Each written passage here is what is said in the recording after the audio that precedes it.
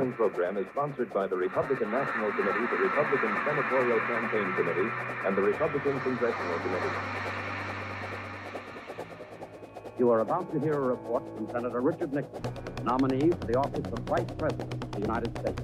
The senator has interrupted his nationwide campaign tour to be with you tonight for this important message. Ladies and gentlemen, Senator Richard Nixon.